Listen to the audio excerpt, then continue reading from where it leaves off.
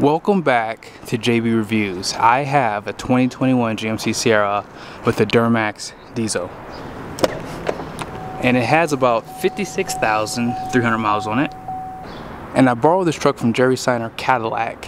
It is available for sale. I'll show you guys some of the pricing in a little bit. But this truck is the AT4 and it does have this cap on it too. So we're gonna see how much it weighs with my trailer. Now class 4 hitch is already standard on this truck.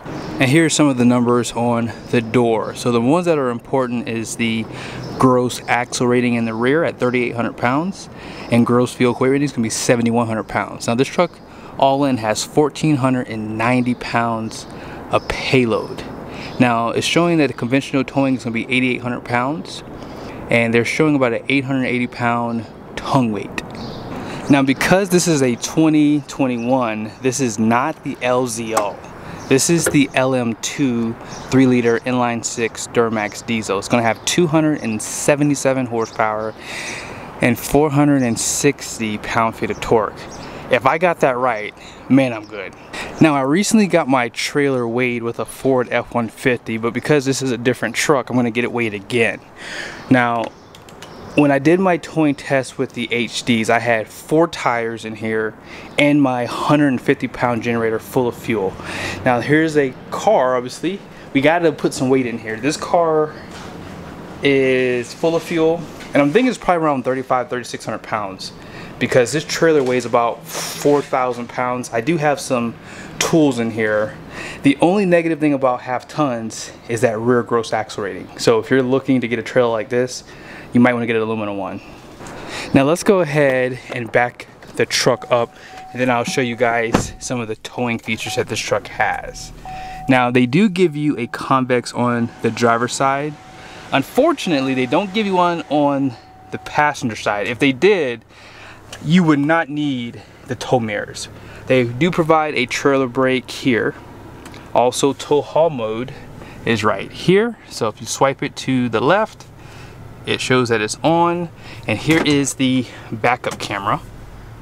So if you want the tow line, they do provide that. Also, if you need to zoom in, that has that too. And it looks like we're perfectly there. Now when you zoom in, it does put it in park automatically because it has electronic parking brake. Now I'm sure you guys want to see how much the truck is going to squat. So let's go ahead and check it out. Okay. Let's use 40 and 1 8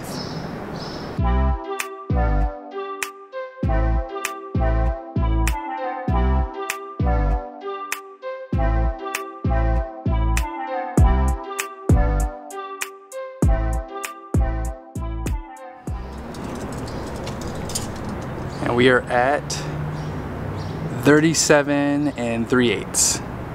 That's gonna be two and three quarters of a drop. Now as far as the towing information goes for this truck, you guys can see it does say trailer brakes connected and this truck looks like it was probably owned by a female. So let's go ahead and create, actually we'll just do guest trailer. We'll do guest trailer and all we have to do is really just set up the trailer brake. So I normally do about two and a half to three for GM pickups. It seems like you don't need much feedback because they're pretty strong. But apart from that they do show you a towing menu here. And that's pretty much it. Let's go ahead and get down the road so you guys can see how much tongue weight we have and how much payload you're going to have after this trailer is hooked up having a little bit of issues with this camera, so hopefully it works. Let's go before something else happens. I'm all locked in, and because I don't have any tow mirrors, I don't have to adjust anything on the mirrors really.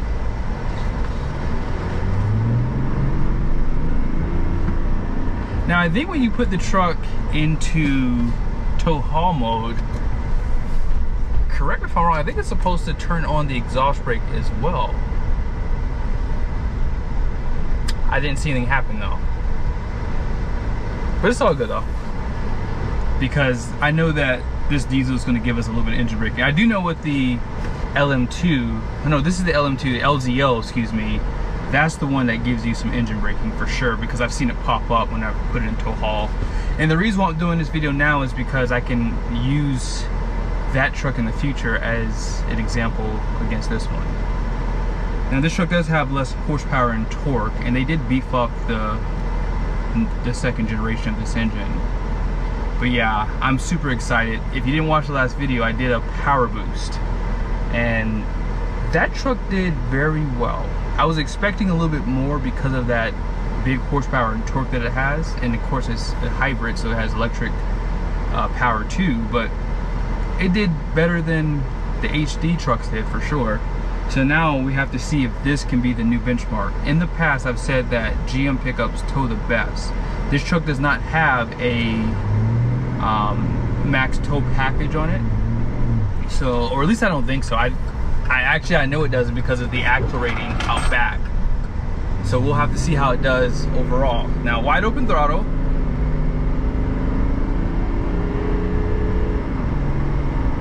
I can't wait to test the LZO for sure.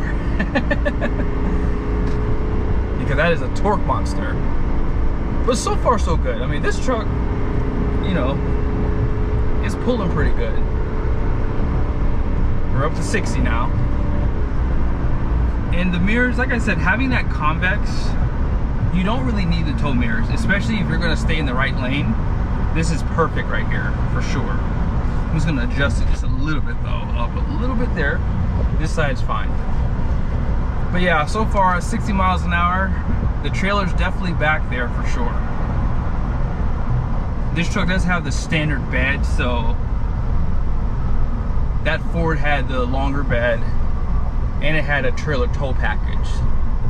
So I feel like already out of the gate I can tell there's a little bit of extra sway. In the next video I'll go over the tire specs for you guys. That way you have an idea what's on the truck. But we should be at the weigh station in about three minutes. I'll check back in then. Currently right now, this truck is available for sale for 45 426 at Jerry Seiner Chevrolet. Here's the Carfax report. You guys can see one owner and it was in a business name out in looks like Montana. Now as far as the original one sticker goes, this truck was $58,330. You guys can see the Philly comment numbers here. And if you want to see some of the options there right here, so that Duramax was 995 that paint was 645 and this one did have the Goodyear Wrangler Track tires added. Alright, so here's what we're going to do. We're going to put the numbers into a spreadsheet because I want to show it to you guys because we are definitely over in a few spots. Now on this side, these are all the ratings for the truck that you guys already saw on the door stickers. On this side, this is a cat scale weigh-in. Now, as far as the front axle goes, whenever you're towing with a half ton truck, you're probably going to have to use a weight distribution hitch. But as I said in the video, aluminum trailers are your friends with these lighter trucks and to stay within the payload and potentially the towing capacity. So axle out back, we did exceed that. Also, we did exceed the gross vehicle weight rating. We also exceeded the payload because of the gross vehicle weight rating. And we also exceeded the gross combined weight rating. Now, I was a little thrown off by the numbers. I was like, man, this this is a lot of weight compared to what I've seen on other trucks. But then I remember this truck had that cap on the back of the bed.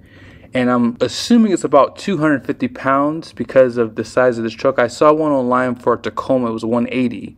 And so this is a little bit bigger truck and they had a few accessories on it. So I'm assuming 250 with that and that's kind of why we really exceeded that rear gross axle rating. So that's something to consider if you are looking to tow a trailer and you want to try to stay as close to the numbers as you can. Those accessories really do take away a lot of your payload. Now, yeah, we're over by 320 pounds, which isn't too bad, but when you consider it's just me inside the truck and that was not with a full tank of fuel and there's no gear in the bed. So, yes, you are way over if you decided to buy this truck and tow this type of trailer.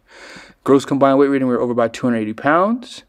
And this is the towing capacity with the hitch weight. So we're over there too. So this is just not the best truck for towing. And the hitch weight, it may not be this heavy because as you guys saw, I took out the generator and the wheels and tires.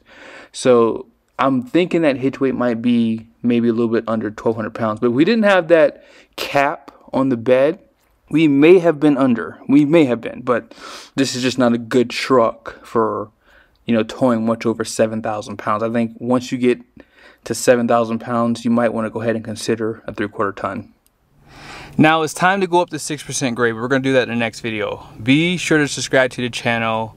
As I said always, it's always a good idea to really understand towing in terms of like the weight of trailers, all these things. A lot of guys online will spout out that their half ton can tow 12, 13,000 pounds. And I'm just being honest here. Most of these trucks are only really able to safely tow, I would say, six to 7,000 pounds. And once you start getting over that hump, you really have to consider a three quarter ton. So just keep that in mind. Be safe out there and see you in the next video.